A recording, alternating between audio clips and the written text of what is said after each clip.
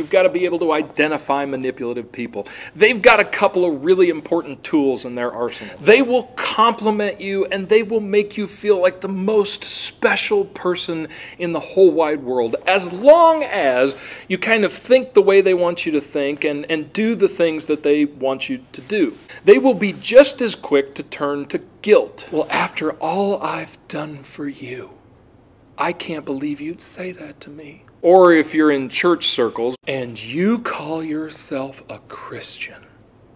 Manipulative people are drawn towards people pleasers. Because really, that's the only leverage they have. That, that you would be so concerned about what they think about you that you would do or say whatever they want you to do or say. If you feel like you've got manipulative people in your life, the single most important question am I trying to win the approval of men or God. If the only thing that you care about is what God thinks of you and how God views you, and that's enough for you, nobody will ever be able to control you.